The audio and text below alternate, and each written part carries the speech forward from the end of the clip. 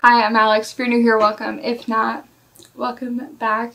I am a 25 year old institutional research analyst in the state of Connecticut who loves books. So I post on here about books all the time.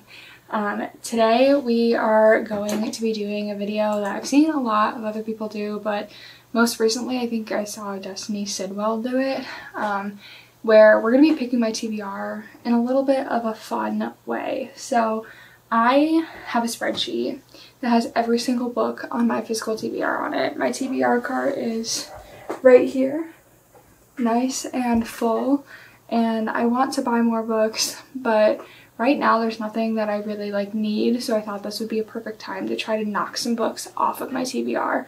Um, last month I was able to take off I think 12 physical books off my TBR and I would love to do the same thing this month. So we're gonna go through and pick 10 books. I might regret that, but 10 books for me to read this month now. It's gonna be out of 73 books. I do actually have like 86 on that cart. There are some that are like the second in the series or I plan on like, filming a video with them or something like that. So they will not be included in this video. Or there are simply 1200 page books like Anna Karenina that got taken off. But anyways, we have the Google random number generator open and we are going to be letting this choose my TBR. So I have it set to choose a number between 1 and 73. So let's see what the first one is. 60. So book number 60 on here, okay, that's a that's a good choice, is One in Rome is When in Rome by Sarah Adams. Um, so that is an exciting first book. I honestly probably would have put this on my TBR this month anyways, so happy with that. And put it back here so you can see it. um, now, book number two. Let's see. Six. I don't know why I'm showing you as if there's not a screen recording on the screen. Um, book number six. It's The Sinful Lives of Trophy Wives, which I don't even know where that is. Here.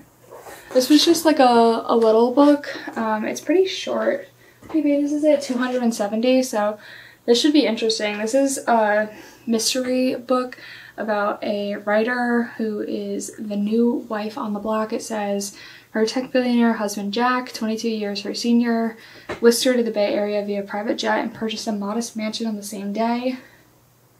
He demands perfection and up till now Brooke has had no problem playing the role. Okay, so this is about a few different wives, um, I guess, who they're trophy wives to rich husbands. And it's a mystery, so this will be a fun one to read. Also, I didn't mention, but When in Rome by Sarah Adams is like a small town famous pop star romance um, that I feel like literally everyone has been talking about, so you probably don't need me to describe it to you. The next number that we will be looking at a book for is 42. So 42 is If He Had Been With Me by Lauren Allen. I wasn't planning on breaking my own heart this month. It is August. I, it's not Sad Girl Book Month. Um, but we're gonna go with it. So this next book is If He Had Been With Me. Um, so this has been on my TBR for a while. I got this as a gift for Christmas from my mom. So add this to the little pile. Three down, seven to go. Book number 22. What is 22? The Makeup Test by Jenny L. Howe. I had put this book on my like list of books that I wanted as gifts during the holidays. Um, I did a whole video going to Barnes & Noble and like building a gift list. I can link it down below, but um, yeah, this one sounds interesting. It's about a woman who's finally been accepted into her dream PhD program studying medieval literature under a professor she's admired for years. Then she discovers her ex-boyfriend has also been accepted. Um, and they're both assigned to TA for the same professor. This sounds fun. It's going to be a little second chance romance, I guess, in set in academia. I love books that are set in academia. Um, I mean, I have my dreams of going to get my PhD, so every time I read about people doing it, I just want to do it more. okay, book number four. We'll go into book number five, 22. That's the same one we just had. 54 is, this one's exciting. Uh, the Love Wager by Lynn Painter. Um, I'm excited to read this. I read Mr. Wrong Number pretty recently, so I know that I like her new adult novels better than her YA ones. I'm really excited to get into this. It's very nice that it's on this list. Let me make sure I highlight it. Where did it go? Okay, so that's five. Number six. Six, uh, 16. 16. Oh no. um, I've wanted to read this for a while because I watched Larry Reads and she talks about it in almost every video and no it's not addicted although that's also on my TBR so if that gets picked I wouldn't be like heartbroken but um, it is time to stop putting it off. The Spanish Love Deception by Elena Armas. I know that this book, some people absolutely love it, some people simply do not. I'm curious to see where I fall in that line. Um, I I don't know. I bought it really excited to read it and then I started seeing some pretty poor reviews so it's just been sitting on my TBR for like a year and a half but it's time. Book number six is The Spanish Love Deception. This is fun.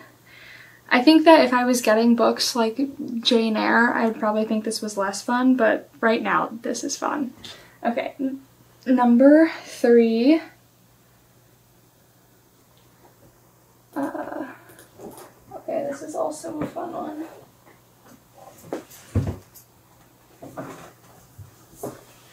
Number three is another book my mom got me for Christmas. I gave her a list of 50 books. She chose two, and the random number generator chose both of them for this video. But it's None Shall Sleep by Ellie Marney. Um, this is a YA mystery thriller about two teenagers um, a serial killer survivor, serial killer survivor, and a U.S. Marshal candidate who are recruited by the FBI to interview convicted juvenile killers and provide insight on cold cases. So I think it's going to be sort of similar to The Naturals, um, but not sure. I really did enjoy The Naturals, so I think that this one would be good too. We will see. That is book number seven. Three more. Okie dokie. The next one is 61.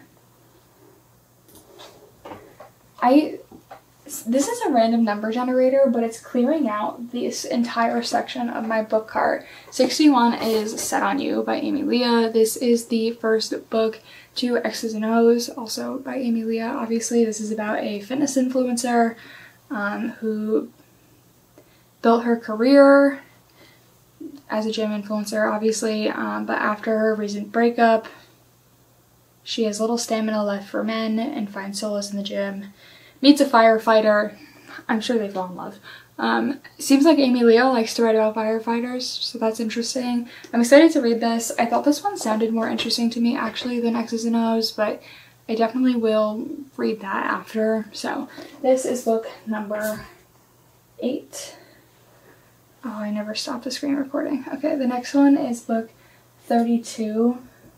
Alright, this is the first book on this list that I am not particularly excited about and not super confident in the fact that I will actually achieve reading this month, and that is Frat Girl by Kiley Roache. Um, I've owned this book as well for almost two years, if not over that. Um, haven't read it yet. It's about a girl who is like she wants to write a paper on Um,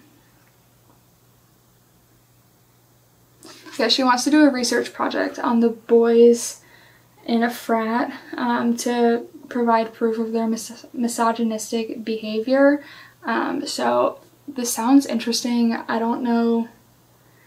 I don't know if I'm gonna like it or not, but it is just like a, a YA. Um, I don't know if it's a romance. We will see. That is book number nine. And for the last one, we got the same thing again. Number eight.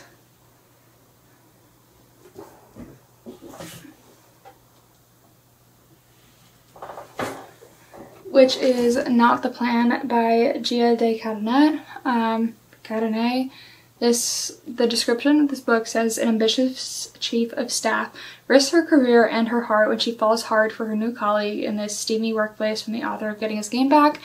I love political romances. They're some of my favorite political romances, academic rivals. Love them, love them, love them. Especially like competing for the same political jobs. Like,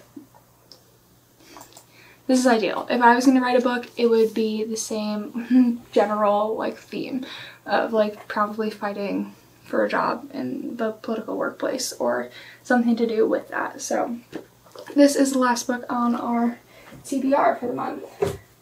So, just to review, to review quick, we have Not the Plan by Judith de, de Cadenet, Frat Girl by Kiley Roache, Sit on You by Amy Lea, None Shall Sleep by Ellie Marney, The Spanish Love Assumption by Elena Armas, The Love Wager by Lynn Painter, The Makeup Test by Jenny Howe, if He Had Been With Me by Laura Nowlin, The Sinful Lives of Trophy Wives by Kristen Miller, and When in Rome's When in Rome by Sarah Adams.